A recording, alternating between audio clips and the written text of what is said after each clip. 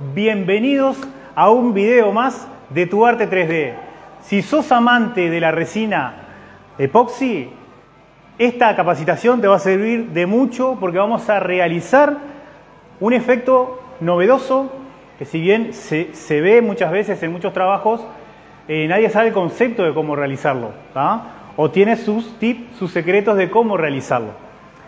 Vamos a realizar la técnica de Vaciado exótico.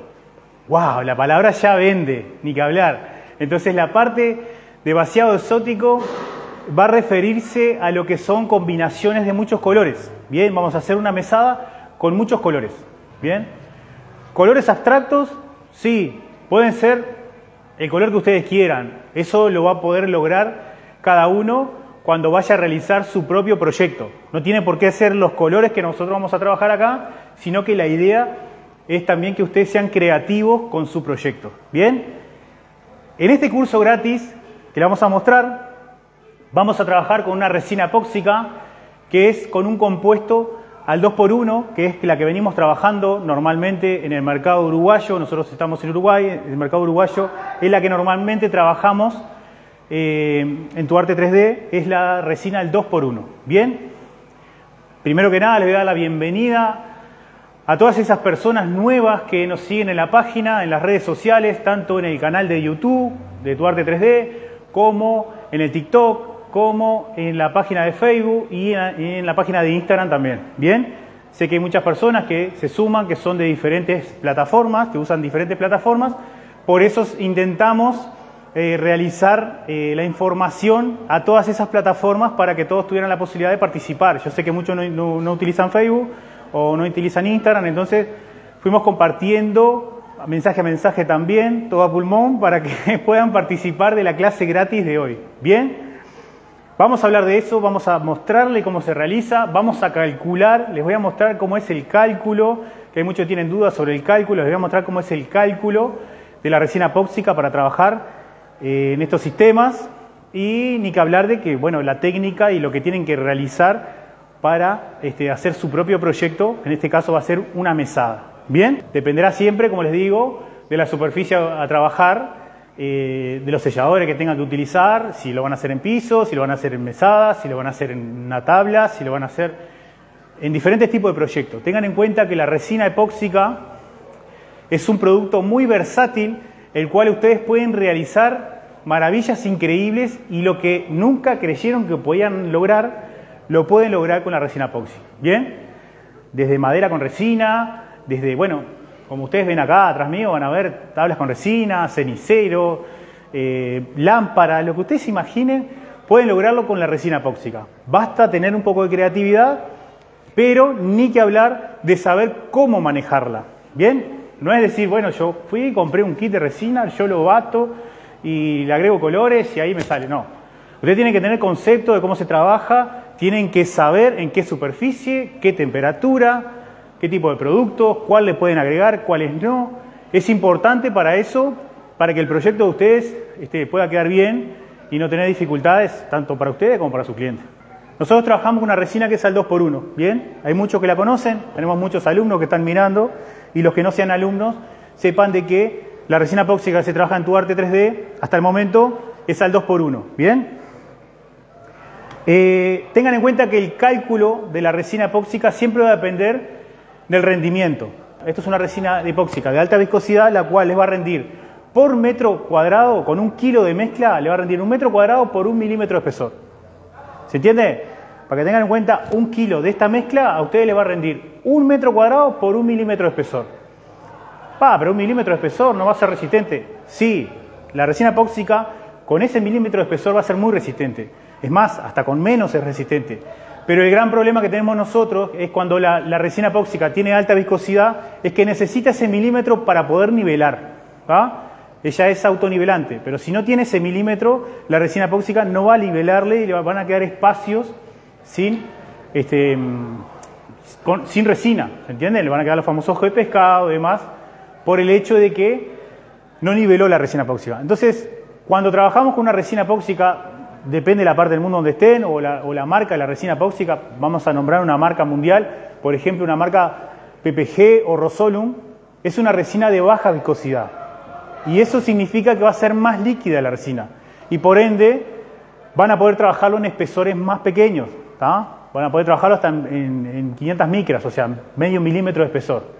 Y allí le va a rendir un poco más la resina. No le va a rendir ya un metro cuadrado, le va a rendir un poco más. Por eso es una resina de bajo espesor. Bien, esa es un poco la duda porque eh, hay muchos que me dicen, no, pero a mí me dijeron que me rinde dos metros cuadrados, con un kilo hago dos metros cuadrados y a mí me dijeron que con un kilo hago medio. No. Va a depender siempre de la marca de la resina y de la viscosidad de esa resina. ¿Bien? Esto como es una resina de alta viscosidad, a ustedes les va a generar ese milímetro de espesor para que nivele.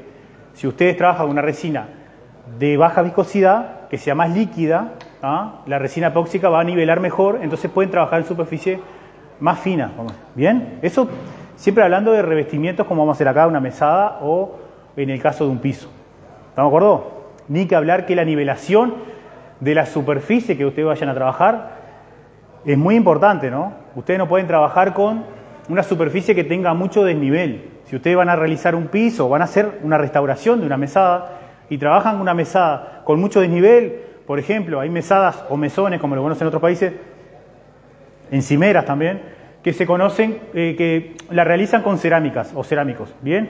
Entonces a veces colocan la cerámica, cuando colocaron las cerámicas les quedaron desniveles, entonces ustedes no pueden nivelar ese mesón o esa mesada con resina epóxica.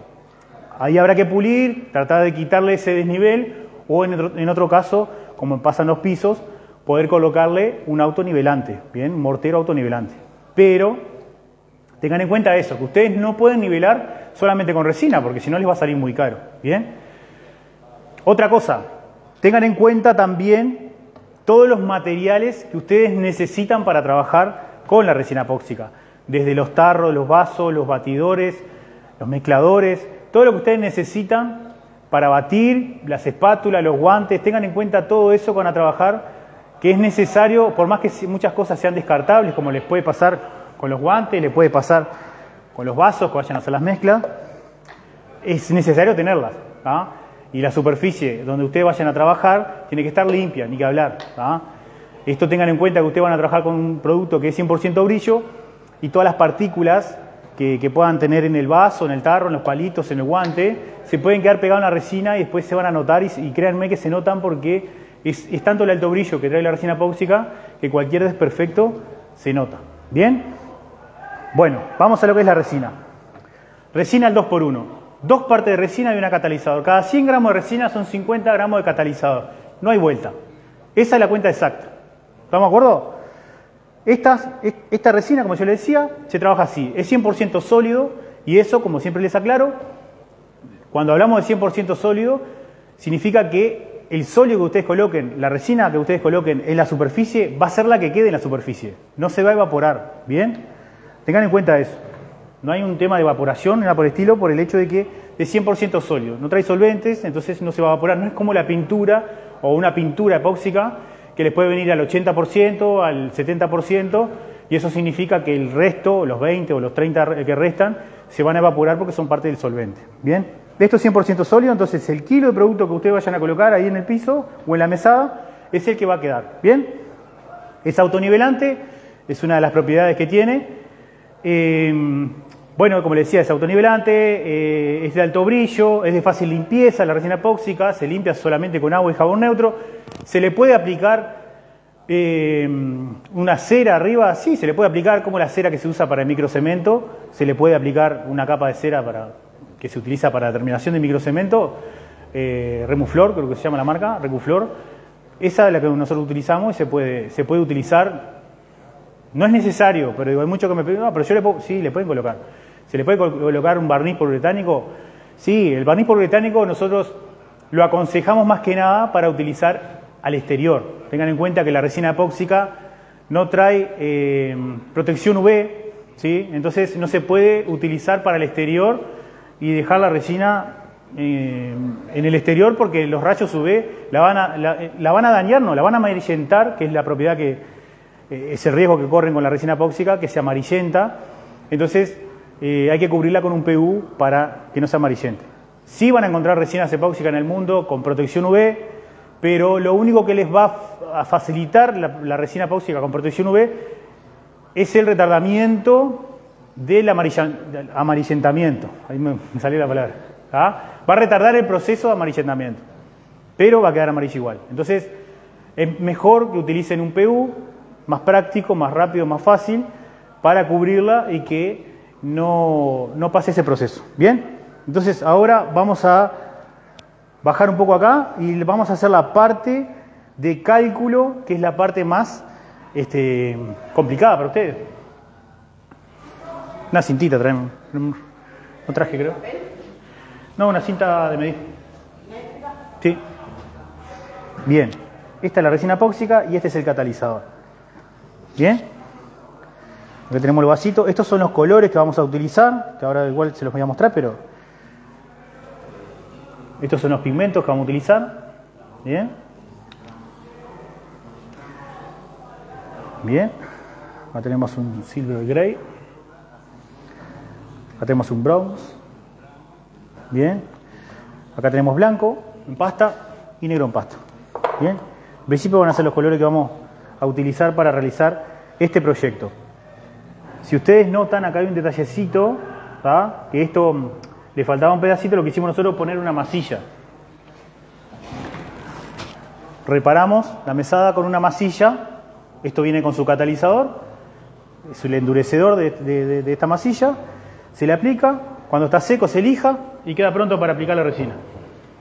Bien, esto es una mesada MDF, la cual este, está fresada, ¿ah? lo, pueden fresar o lo, pueden hacer con, una lija también, poder redondear todas las partes para el volcado del producto. Ustedes no pueden dejar eh, las partes rectas sin lijar, sin redondear, sin hacer el bombé, por el hecho de que la resina epóxica va a llegar hasta el borde, más allá de que vaya a chorrear, se va a ver todo el vértice de ese MDF.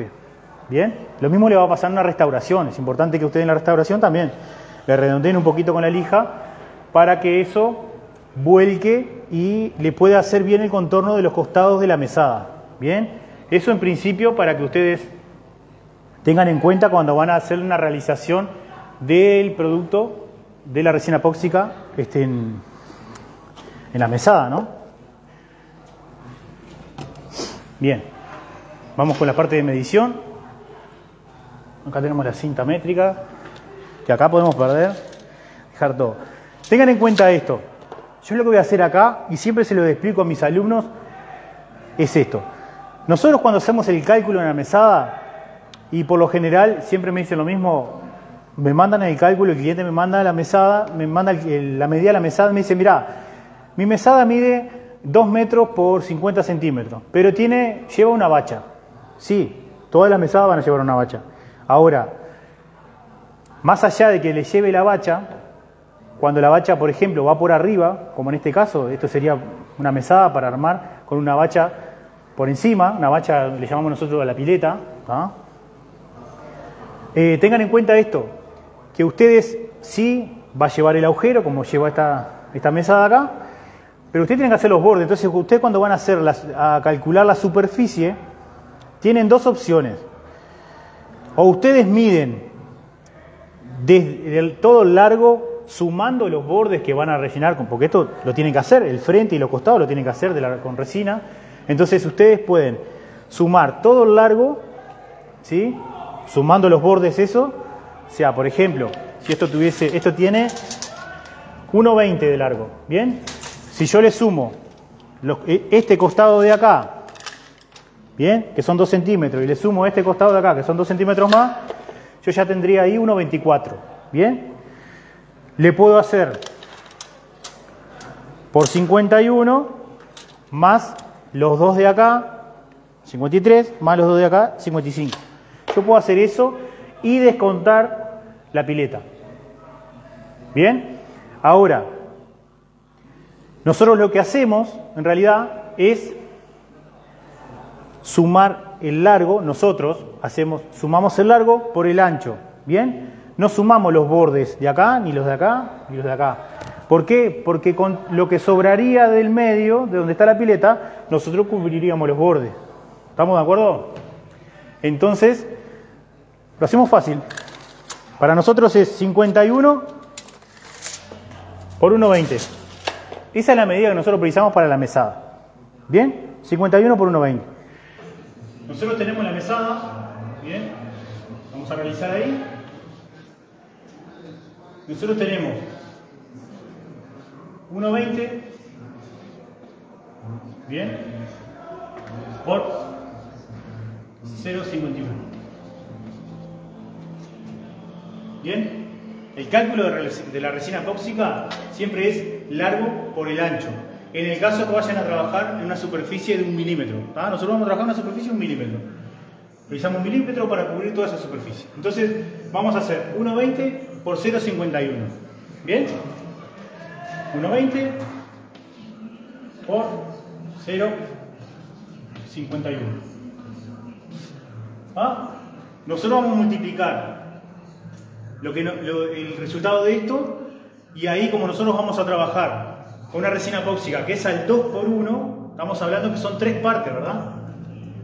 La resina epóxica que nosotros trabajamos son dos partes por una que es el catalizador.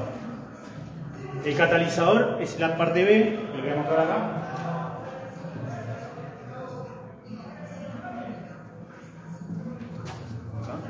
Esta es la resina epóxica, que son dos partes. ¿No me acuerdo? Este es su catalizador, que es la parte B, ¿bien? Que sería esta parte de acá. Son dos partes de resina y una de catalizador. Así se maneja esta resina. 1, la cuenta se hace así, 1, 20 por 0,51 nos va a dar 0,612. ¿Verdad? Esto lo multiplicamos por 1000 para pasarlo a gramos. Bien, esto nos va a dar 612 gramos. ¿Por qué lo pasamos a gramos? Porque nosotros tenemos que pesar la resina epóxica.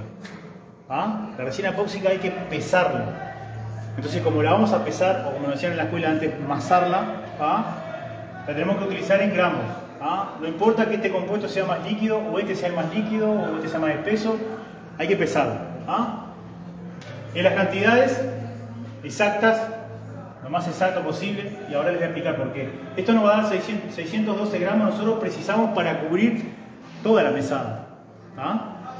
Ahora, ¿qué pasa? Como vamos a hacer una técnica diferente, por ejemplo, para que tengan idea ustedes, ustedes van a hacer esos 612 gramos, pueden hacer un veteado, por ejemplo, como está acá. Por ejemplo, ustedes van a hacer un veteado como este, le hacen la mesada toda blanca y ahí le sacan un poquito y hacen un grisecito y ahí tienen el veteado. ¿ah? Eso sería un veteado. Fácil, sencillo. Ahora, cuando van a hacer un trabajo como este, ¿ah? ustedes lo que tienen que hacer, tengan en cuenta esto, es esos 612 gramos que iban a utilizar para cubrir la mesada con un color, ustedes van a tener que duplicar esto. ¿Por qué? Van a ser 612 gramos por 2. Tiene que ser el doble. Y cuando lo estemos volcando se van a dar cuenta por qué tiene que ser el doble. Por el hecho de que nosotros no podemos mover los colores. ¿Bien? Nosotros vamos a tener que volcar los colores y con el sobrante que tenemos en la mano cubrir todos esos espacios vacíos. ¿Se entiende? Entonces nosotros no podemos por ejemplo, en este caso no vamos a utilizar una espátula para correr la resina o para ayudar a nivelarla para acá y para allá. No, porque en este caso nosotros precisamos que se nivele sola y que los colores se vayan uniendo solos. ¿Se entiende? Por eso necesitamos duplicar la cantidad de producto que vamos a utilizar. Y cuando digo duplicar, ya duplicarlo ya es exceso. ¿ah? No me vayan a hacer una mesada y me utilicen 4 kilos, como hemos visto en los videos, me utilizan 4 kilos de resina y después no saben dónde van a aplicar la resina que les sobró. Tengan en cuenta eso. Entonces, sí, lo vamos a duplicar. ¿Bien? Vamos a hacer, en este caso precisamos 612 gramos y vamos a hacer el doble de resina. ¿Por qué? Porque vamos a, a dividir muchos colores. Acá tenemos 612 612 ahí, si no los voy a marear, por 2. ¿Ah? Que tenga la cuenta ahí ya. Un kilo 224. Está, para hacerlo más fácil. ¿Ah? Así. Vamos a borrar un poco acá porque si no se me van a marear.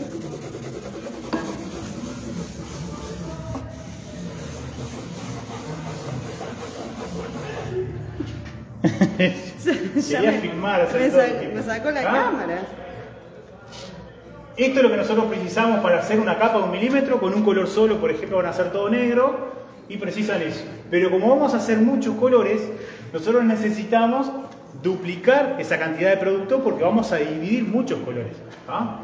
Entonces vamos a precisar ¿ah? un kilo 224. ¿Bien? Un kilo 224 en total de producto vamos a precisar. Ahora, como nuestra resina, nuestra resina es al 2 por 1, vamos a hacer un kilo 224 dividido tres partes. Bien, lo vamos a dividir en tres partes. Y Jenny me da la... ¿Eh? Dividido 3. Dividido 3 nos va a dar 408. Bien. ¿Ah? Esto nos va a dar 808 gramos. Si, si entendieron esta parte de resina, de resina epóxica, como son dos partes por uno, vamos a precisar 408 más 408. Me siento un maestro de escuela.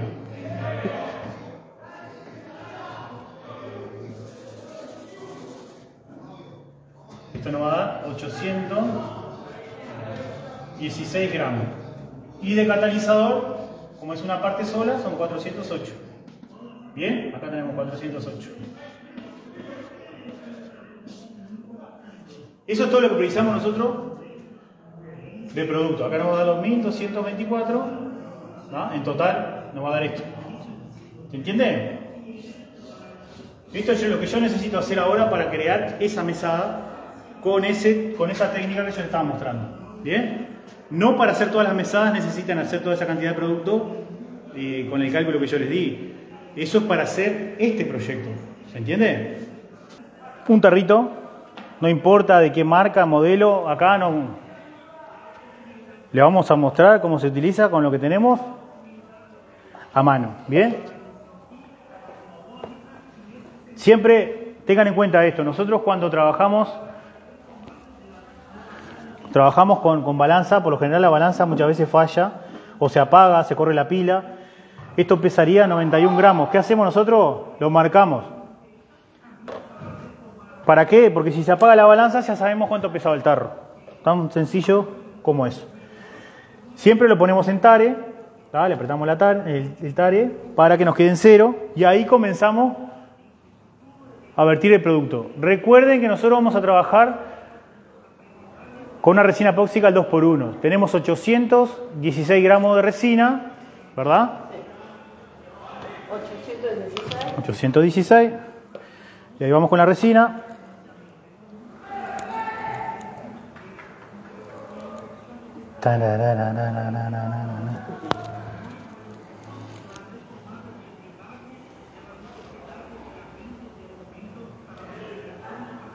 Lo que vamos a hacer es batirlo, después que apliquemos el catalizador. Y les voy a mostrar primero cuál es el secreto para comenzar con esto, con esta técnica, que no es ya realizar los colores, sino que hay una partecita que nunca se muestra, que es la parte de aplicar el sellador primero, pero el sellador va a ser con la misma resina, ya les voy a mostrar ahora.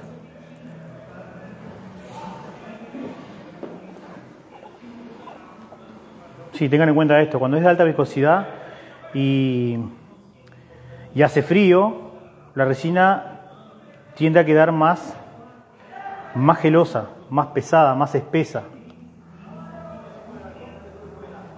Entonces le cuesta bajar. Sí, vamos a agarrar el otro. Tengo que llegar a 816, ¿no? Yo me paso igual, verá que no tengo problema.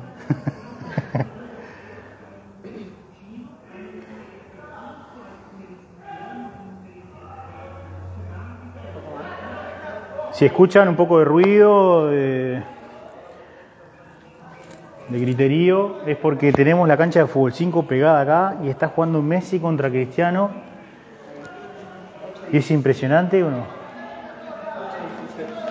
Bien. Bueno, vamos con el catalizador, que son 408. ¿Bien? Esto es más líquido, en este caso esta resina, hay, muchas veces que en el mundo pasa al revés, que la resina es más líquida y el catalizador es más espeso, en este caso no. 408, ¿no? Vamos con el 408.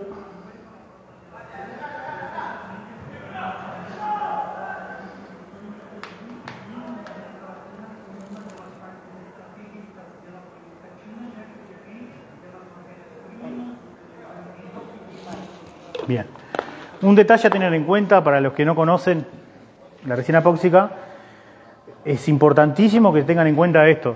Cuando ustedes trabajan con resina epóxica, es fundamental eh, que sepan que la mezcla siempre, eh, cuando ustedes realizan el cálculo del producto, ustedes se pueden pasar un poquito de catalizador que no le va a afectar. Ahora, no le agreguen menos catalizador porque van a haber parte de esa mezcla que no va a catalizar bien y por ende le va a quedar crudo. ¿ah? Y si les queda crudo, no es que con los días se va a secar, queda crudo y no se seca más. Entonces es importantísimo que sepan que la resina epóxica eh, lleva su compuesto y por eso mismo lo pesamos, para tratar de hacerlo exacto y no, no errarle la mezcla. ¿no?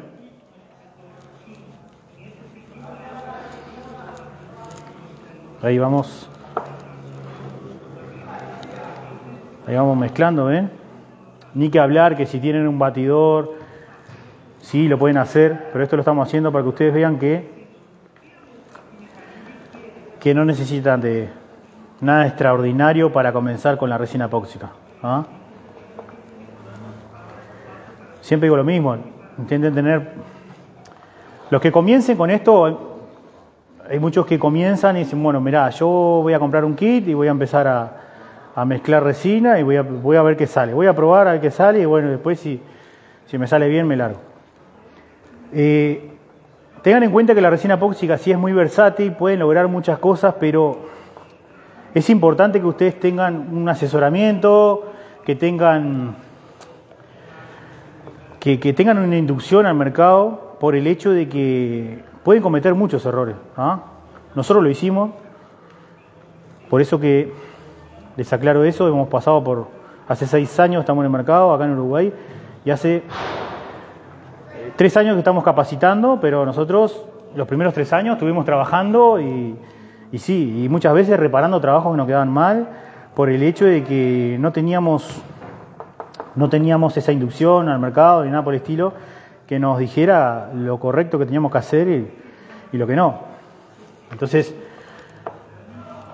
por eso que cuando empezamos a realizar las capacitaciones nuestras, comenzamos a realizarlas en base más que nada a los errores que tuvimos, para explicarles qué era lo que no tenían que cometer. Este, bueno, ni que hablar que los aciertos, ¿no? Pero este, si ustedes no aprenden del error, eh,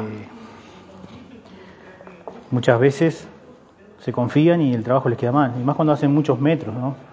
Más que nada cuando hacen mucho metraje, de, en caso de pisos y eso que se puede dificultar.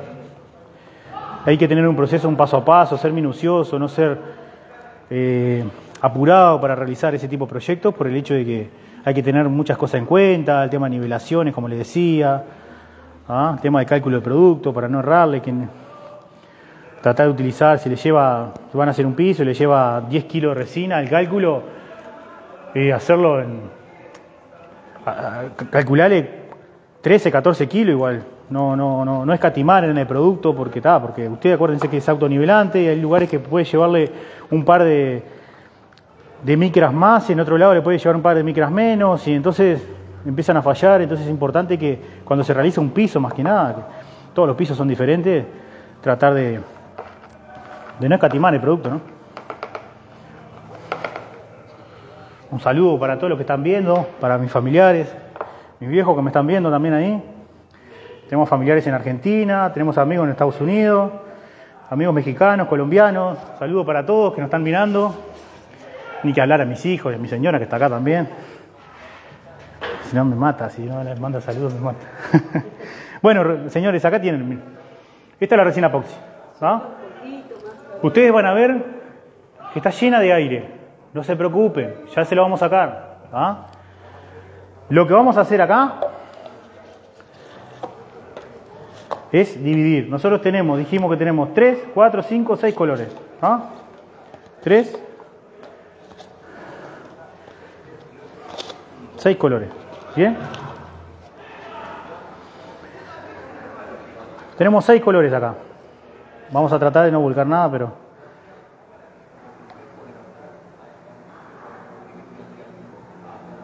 Bien, vamos a dividir la resina.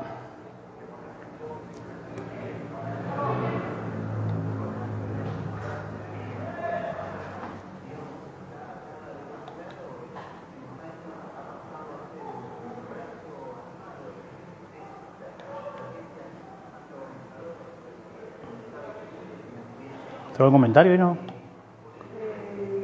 que están compartiendo, que están presentes, Jenny Luis, Valeria Quintana, Sonia. Bueno, un saludo para todos los nuevos que están en la página, para los alumnos. Graciela Navarro, Beto. Para la gente de todos los países, porque tenemos en todos los países también. Vamos a hacer esto, vamos a, a dividir esto para acá. Bien, porque les quiero mostrar esta parte. Primero que nada vamos a poner la cinta de papel, que cuando Jenny me traiga la cinta de papel, yo le voy a poder aplicar la cinta de papel a la mesada y les voy a mostrar por qué se coloca una cinta de papel.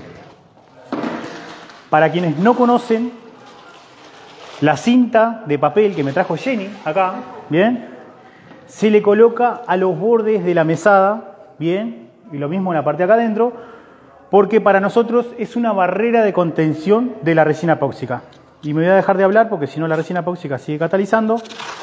Y tengan en cuenta que no les dije, ustedes,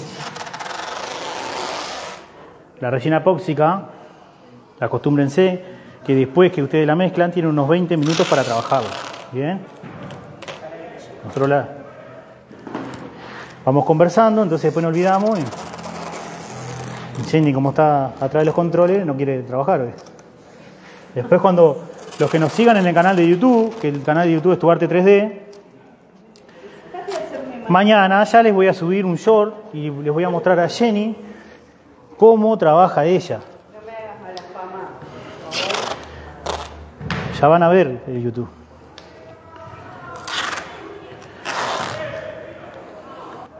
El papel, que sería la barrera de contención, una cinta de papel, puede ser una cinta plástica, pero lo que pasa es que la cinta plástica lo que le va a generar a ustedes es que le puede arrancar el, sellamiento que tiene abajo. Bien, nosotros la mesada, cuando trabajamos en la mesada en crudo, es un MDF, el cual nosotros lo cubrimos con una pintura, ustedes ven que tiene una pintura blanca esto, que es un sellador multiuso para este, sellar la superficie. Bien, ¿qué vamos a hacer con esto?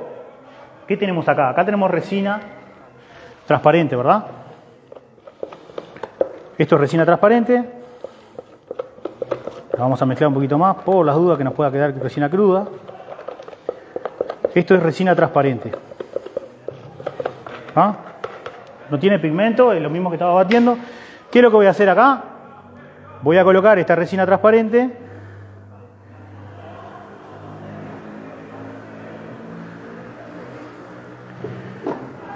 ¿Por qué? Porque yo necesito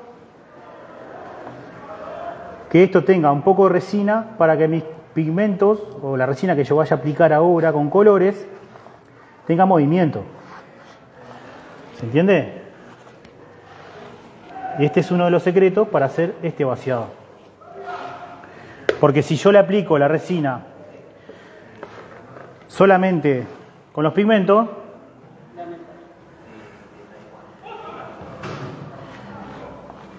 En el caso de realizar una mesada, por ejemplo, usted tiene que hacer una restauración de mesada y le aplican la resina con pigmentos eh, sin hacerle esta técnica, ¿verdad? Ustedes después no pueden mover la mesada existente en la mesada de material, lo que fuera, no la pueden levantar para tratar de llevar los colores, que se muevan los colores que se nivele. ¿Estamos de acuerdo? Entonces, ¿qué hacemos? Hacemos esto. Le aplicamos una capita de resina transparente para que esos colores tengan movimiento. Bien, está bueno que se acostumbren también, si van a hacer esta técnica, a realizar eso en, en la mesada por el hecho de que no pasen después inconveniente o no tengan que hacer, volver a hacer más material porque se quedaron cortos y le faltó, que muchas veces lo que pasa, se quedan cortos, le faltó y como no pueden sacar de acá o de aquel color, hicieron mucho del otro, entonces se arma un medejunje. sí, las palabras que uso son... no te rías, ¿por qué te ríes? La gente me está mirando. Bien, ustedes ven que ahí quedó todo esparramado, quedó rayado, quedó. Sí, sí, lo vamos a dejar así, tranquilo. Vamos con esto que tenemos el tiempo reducido. Están activos también ahí, ¿no? Nadie dice nada, nadie opina nada, ¿no? Ah, bueno. Luján dice que, está acá porque que hizo el curso con nosotros, pero se olvida, entonces Bien, Luján, vamos arriba. Acá vamos, pimiento negro, en pasta. ¿Bien? Vamos con el pimiento negro en pasta.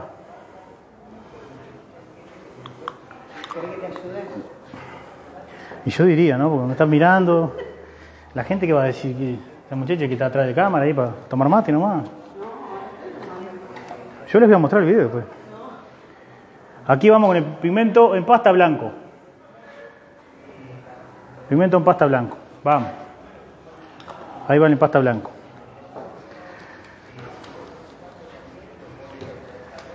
Acá vamos con este que se llama Rosa Reed. No sé, el que sepa inglés, que me lo traduzca.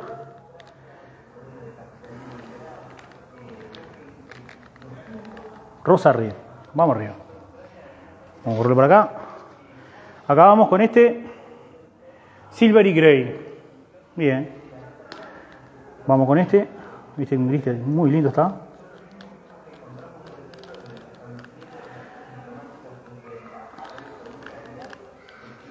Muy bien. Ahora vamos con este Bronx. Bien.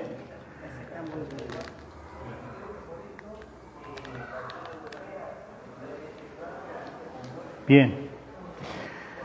Y por último, vamos con el cristal rubí, que se está aquí acá. Vieron que la tonalidad de colores tampoco es muy bochinchera, decir, son colores muy cálidos, ¿no? Mirá cómo aprendí. La... Bien.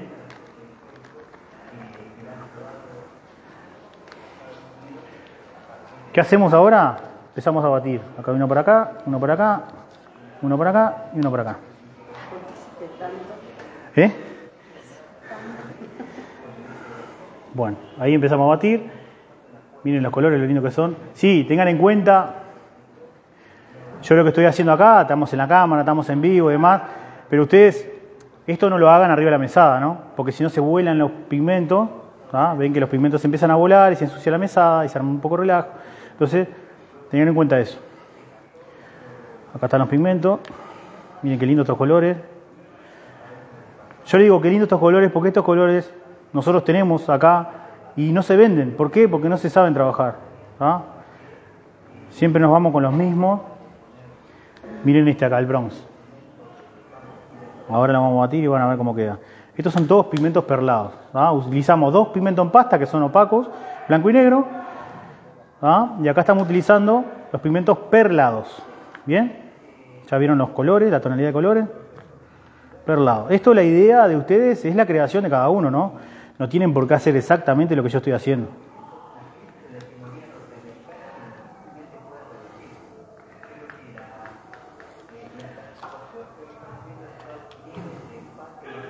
Y este es el rosa les mostré. Miren qué lindo que está.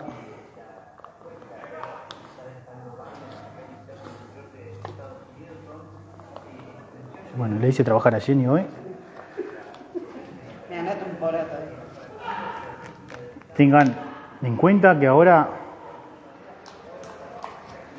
cuando, cuando realicemos esto, les voy a explicar un poco lo que va a ser lo que tenemos, la promo que tenemos, que está increíble. Pero vamos a terminar con esto, porque así ustedes se me concentran acá. Esto nosotros tenemos dos formas de trabajar.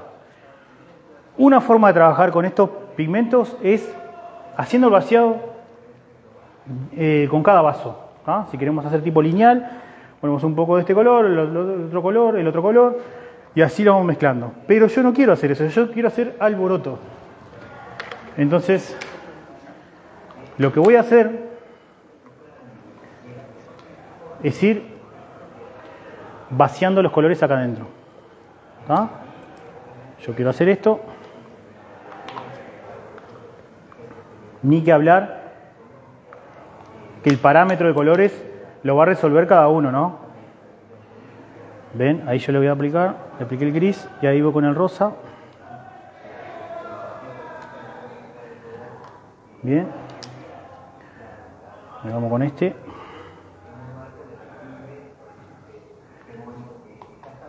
Vamos a aclararlo un poquito. El blanco.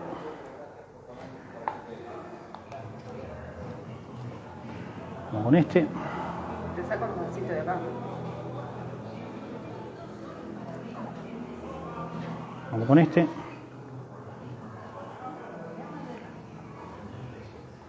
Dame el gris ahora.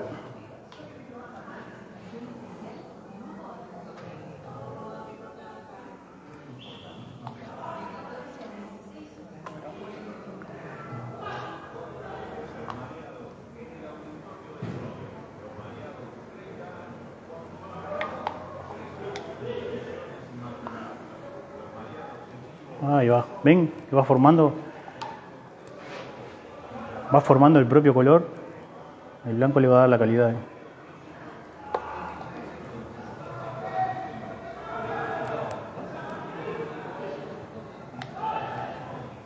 Ahora, Jenny, mezclame todos en un mismo vaso. ¿Está? Jenny va a mezclar todo en un mismo vaso. Y esto que voy a hacer yo, lo voy a batir. No, mentira, no lo voy a batir. No lo batan. ¿Está? La idea que esto que se forme, que se formen solo los colores. Si ustedes lo baten, va a quedar un color unificado solo. Entonces la idea es que se noten los diferentes colores. Ahí lo tenemos en el tarro. ¿Bien? Ahora lo que vamos a hacer es ir volcando.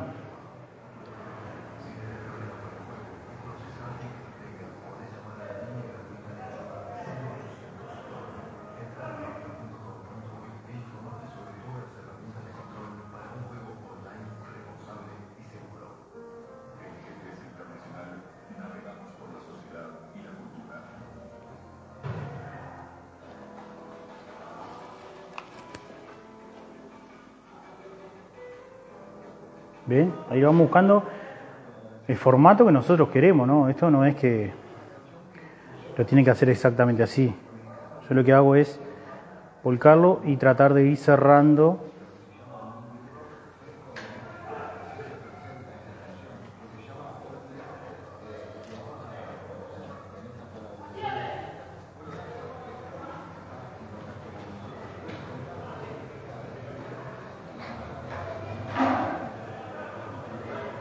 ¿Ven? Ahí lo vamos formando. Y aunque ustedes no crean, acá quedó un color rojizo y acá va quedando un color más oscuro, porque son los colores que van quedando en el tarro abajo, ¿verdad? ¿Ve? Sí, que se vaya notando bien ahí, porque yo no sé si se ve o no. Bien, de ahí vamos buscando otro formato.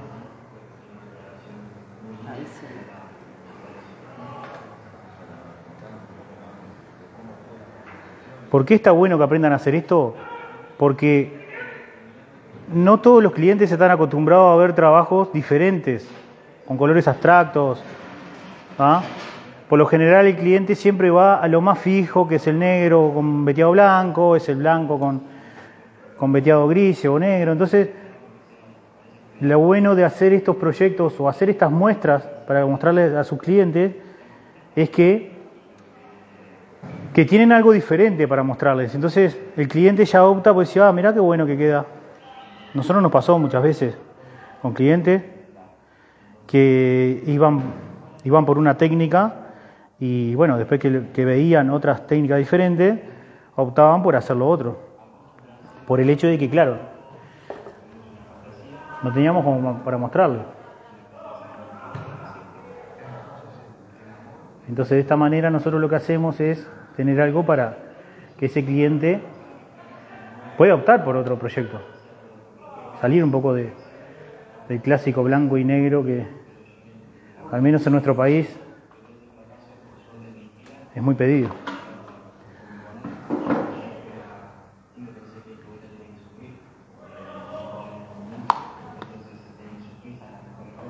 Ahora van a ver cómo empieza a quedar esto. Fascinante. Y van a ver ahora cuando saquemos el aire cómo, cómo va quedando.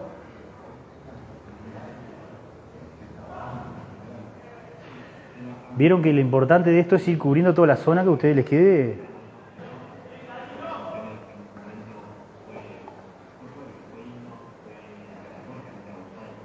Aparte de los colores que va generando, los efectos que va logrando.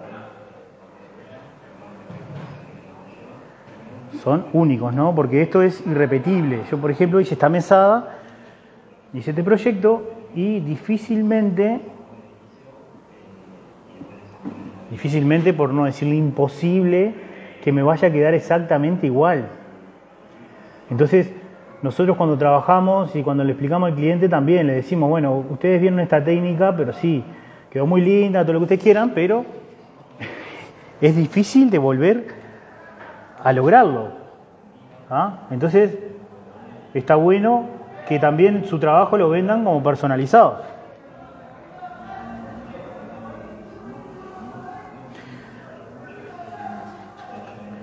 Bien, ahí vamos a terminar acá. Se me pegó la cinta, cacho. No tengo.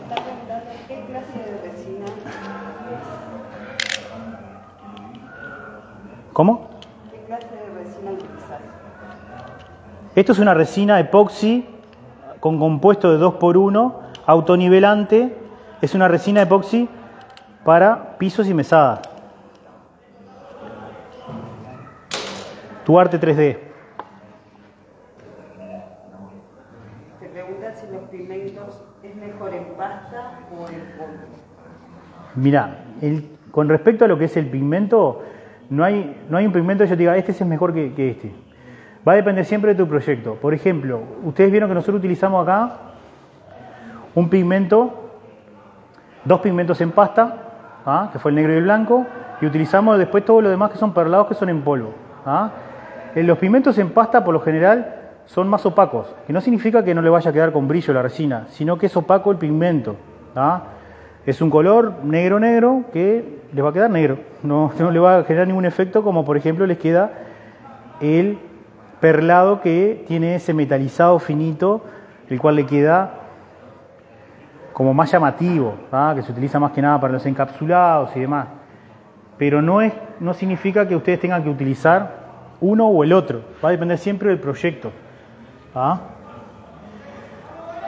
El pigmento en pasta, ni que hablar que el pigmento en pasta va a teñir, por su compuesto, su composición, va a teñir mucho más o les va a a rendir mucho más que el pigmento en polvo.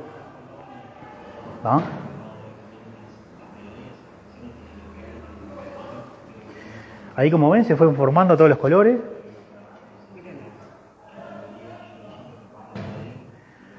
Vaciado exótico, señores, señoras. Esto es una mesada increíble, única, que difícilmente se pueda volver a imitar o, que, el que el efecto quede igual a este, ¿no? Eso es lo más, lo más difícil de volver. Me voy a limpiar un poco las manos y le voy a sacar el aire. Bien, para sacarle el aire a la resina. Tenemos que comprar quita burbuja, Damián. No, tenemos que no. Alcohol isopropílico alcohol isopropílico 90%, es lo único que necesitan ustedes para sacarle el aire a la resina. Ni que hablar que también pueden utilizar la pistola de calor. Ahora vamos a utilizar el alcohol porque quiero que vean el efecto que logra. Pero pueden utilizar la pistola de calor, ¿ah? pueden utilizar el gas propano, que es la garrafita chiquita, que cuando recién comienza no les aconsejo, siempre le digo lo mismo a los alumnos, no les aconsejo porque es mucha temperatura en la resina y se, se quema fácilmente.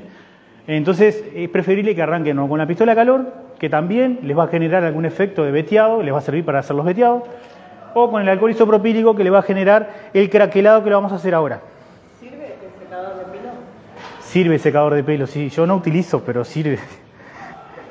Mostrarles ahí que quiero que vean cómo, cómo logra un efecto diferente del craquelado.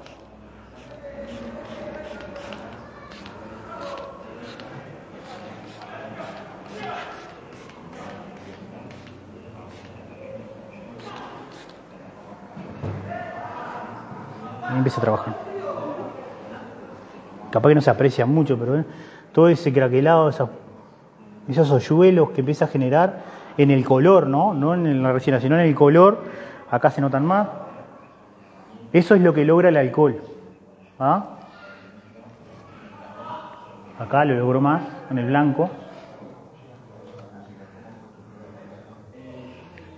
Y esto es lo que sobró, nada. Quedó una raspadita que puede servir para hacer los bordes de la mesada y nada más.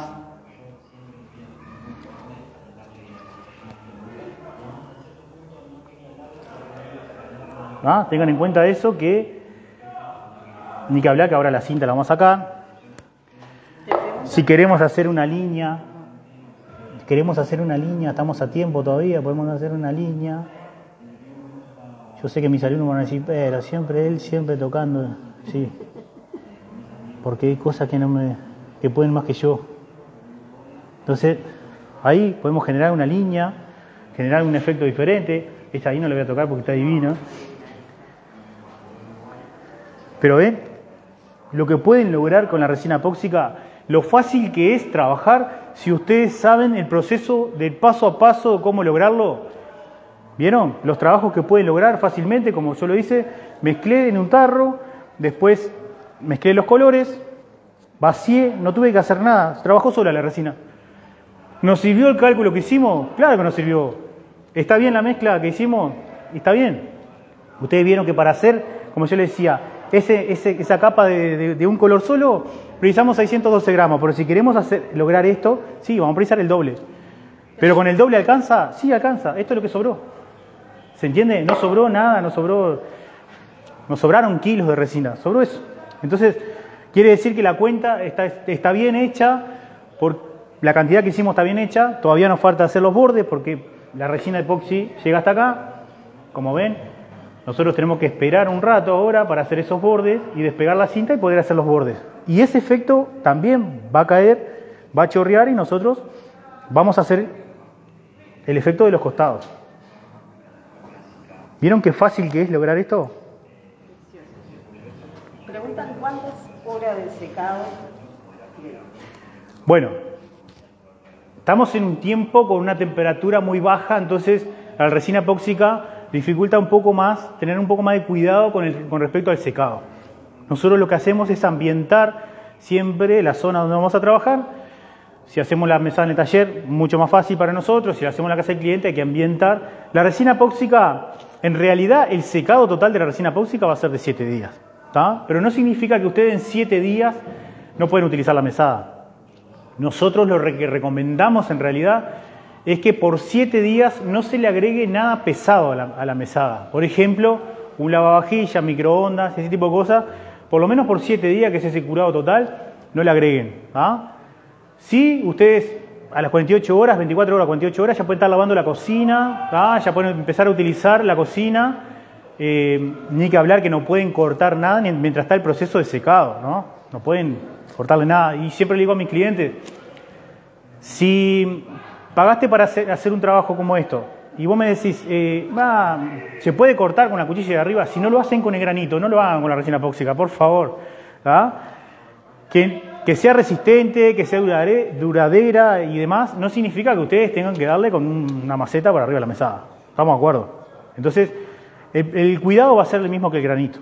¿Estamos de acuerdo? La limpieza va a ser fácil, es con agua y jabón eh, neutro de lavar la cocina con ese jabón ya la pueden lavar la mesada, con un trapo limpio y ya la pueden lavar la mesada. No tienen mayor problema. ¿Le pueden agregar algo caliente? Sí, claro que le pueden agregar algo caliente. No es lo mismo sacar la olla caliente del fuego, apoyarla arriba de la mesada, que sacar una plancha de hierro que levanta mucha más temperatura y demora en bajar más la temperatura, apoyarla arriba de la mesada. Son dos cosas diferentes. Lo mismo le digo al cliente, si apoyás la olla y no la apoyás arriba del granito, no lo hagas arriba de la mesada, pones un repasador, pones una tabla, ¿ah? tengan en cuenta eso. Te preguntan si el invierno con la humedad lleva más tiempo de secado. Si hay, si hay humedad, en el caso que vayan a trabajar en el piso, si hay humedad en el piso, que ustedes ven que en el piso hay humedad, no apliquen resina. ¿ah? Es preferible que no la apliquen ni perder ese trabajo o ambientar con un deshumificador, sacar esa humedad, antes de aplicar la resina epóxica con la humedad y que con el tiempo se desplaque. ¿ah? Entonces es preferible, o ustedes deshumifican, sacan la humedad, o de lo contrario, eh, no lo hacen. Posiblemente nosotros lo que hacemos siempre es tratar de deshumidificar, ni que hablar, que el trabajo no se puede perder. Entonces es una manera de ayudar al proceso de secado, sacar la humedad. ¿ah? Vamos a mostrar, vamos a sacarle la cinta. Me voy a poner micrófono porque si no...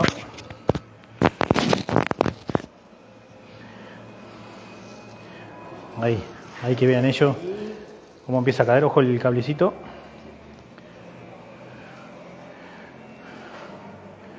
Sí, yo sé que me tengo que poner guante, tranquila. Jenny no me dijo nada.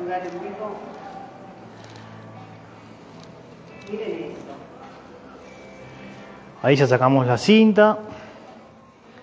Vamos sacando la cinta. Estoy haciendo un relajo con el cable.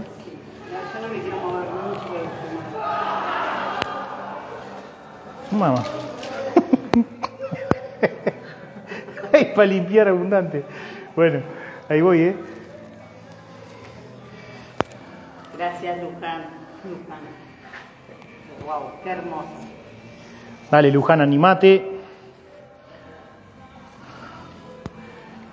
Y empezá a hacer algún trabajo ahí para mandarnos. Mira, ahí va chorreando. Eso es lo que tienen que hacer ustedes, dejarlo. Dejarlo que vaya generando. Bueno, sí. Sí. Sí, vale. Así te callas un poco más. Ya me dejó sin hablar.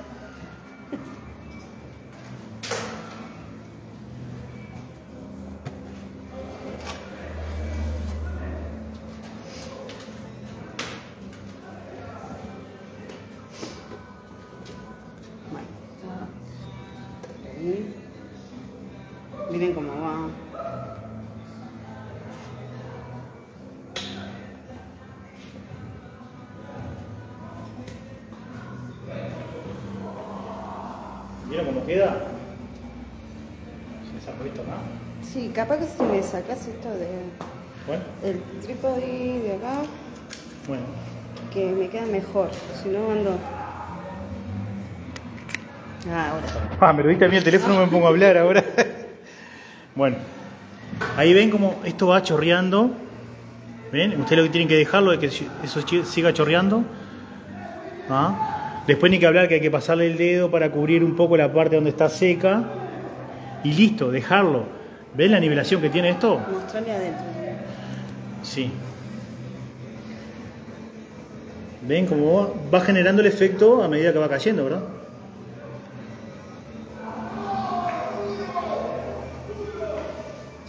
Les pido mil disculpas por el criterio, pero bueno, no tenemos otra que el brillo que le queda también. No sé si lo ven. Creo que se nota, sí. Lo que pasa es que cuando es mucho brillo con el teléfono, se complica. Pero ven ahí.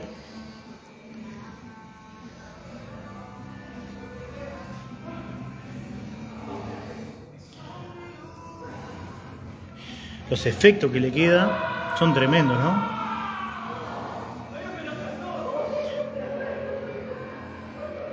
Después estamos como el psicólogo, ¿no? ¿Qué es lo que va logrando cada cosa?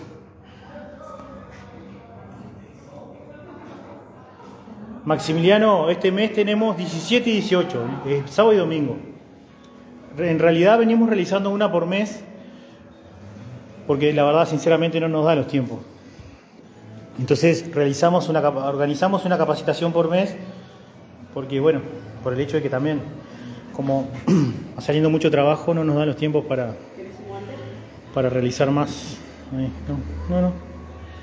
Voy a mostrar ello como... Te pueden hacer para arriba, para abajo.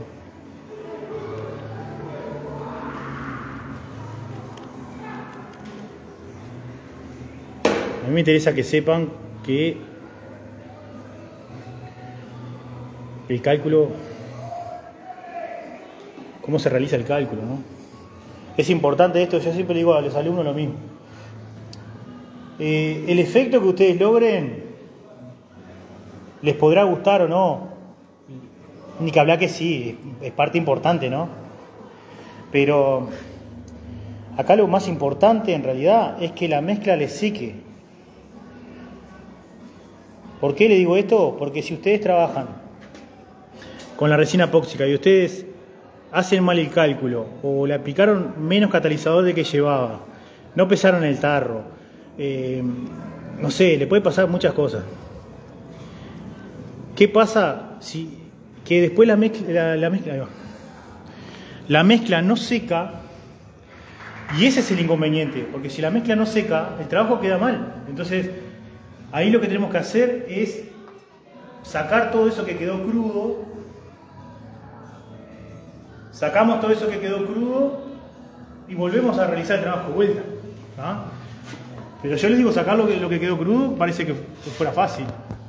Pero no, porque puede quedar partes crudas todavía y nosotros le aplicamos más arriba. Entonces, por eso es importante la mezcla. Usted, cuando saben realizar el cálculo de, de la resina, es importante eso, que la por ejemplo la técnica capaz que le quedó mal el efecto, eh, no sé, ustedes o el cliente lo quería más veteado, lo quería menos veteado. Si el trabajo se secó, se puede lijar y se le puede aplicar más resina arriba sin problema. ¿Ah? Ahora, el, problema es cuando la, no secó. Entonces, si la resina no secó, imagínense en estar en la casa del cliente frotando con thinner o con diluyente para tratar de sacar toda esa parte cruda. Y, y el tiempo que le lleva también, ¿no? Porque ahora si le va a llevar más tiempo tratar de reparar eso así, como, como quedó crudo, que si hubiese secado y le aplicaban solamente resina para hacerlo otro bestiado o más. Sí, otra cosa que tienen que tener en cuenta que ustedes el trabajo,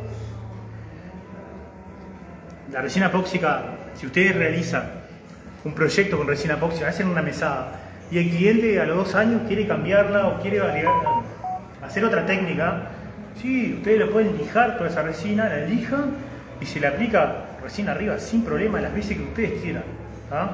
No les va a generar nada porque ustedes le están aplicando el mismo producto.